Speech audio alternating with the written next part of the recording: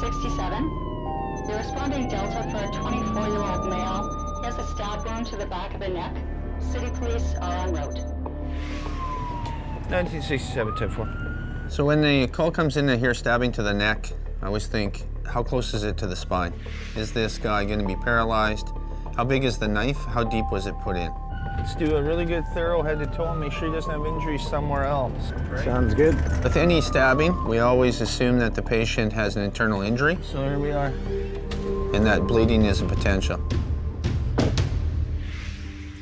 What's happening? I just got a laceration for the back of his neck. Is he bleeding pretty heavy duty? Just gonna get your jacket off here, okay? We want to take a real quick look at you. We want to make sure there's no other injuries, okay? Okay, there's just one stab. Okay, how's your head feel? Feels right, but my neck feels Okay.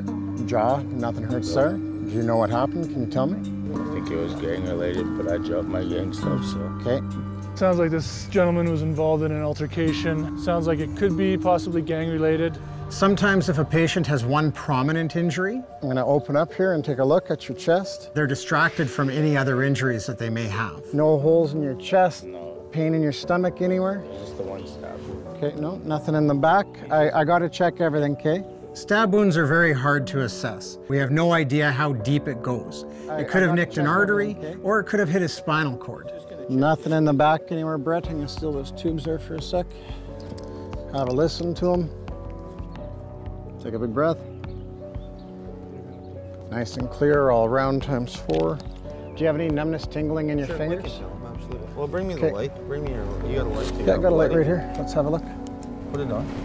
Ah, yeah. Hang on a second. Could be. Okay, does that hurt right there?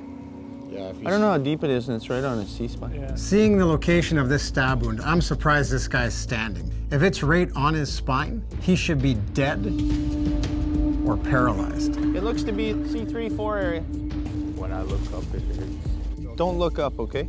We're taking every uh, precaution, okay? It's very important that he stay as still as possible.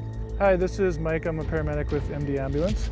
Just letting you guys know, we are on scene right now with a 24 year old with a stab wound to the back of his neck.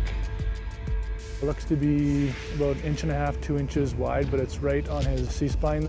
Okay, so this is just a reminder for you to keep your head nice and still, okay? Sit right back. Just sit back. Try to keep your head still. We're gonna turn you, and we're gonna lay you flat on the Yeah, stretcher. I got Here, bring your arms. Bring your arms Right. into your belly. We Bring got your- you, We're okay. gonna. They're just gonna spin you on Mike's kill.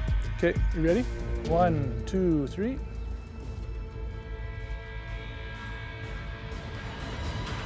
Good man. Just like that. You okay? We're gonna take you to the university hospital, okay? And they're gonna go over everything that's occurred. We're not asking for names, they're just asking for what happened and why, the reason for the stabbing and how it occurred. I kicked him in the leg and then I grabbed him. Yeah. And then I think he tried to grab me and then I felt a really a really weird feeling in my neck and I knew right then and there that he stabbed me.